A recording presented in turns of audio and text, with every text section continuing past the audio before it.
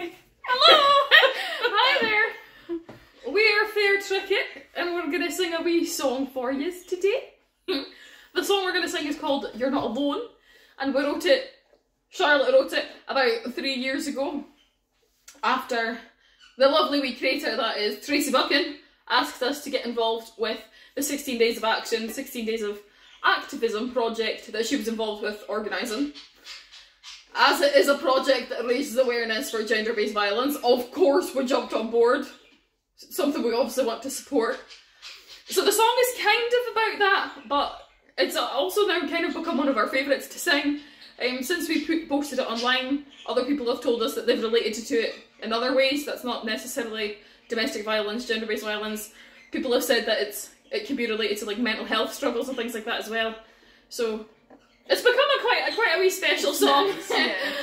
a few people have reached out and said that it's you know helped them with something or that they've or it's meant something Meant to them to for them, different reasons, and it's just it's now just become a nice wee moment with people when we sing it now. So yeah, So it's called You're Not Alone.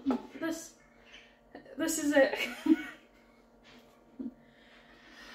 when enough,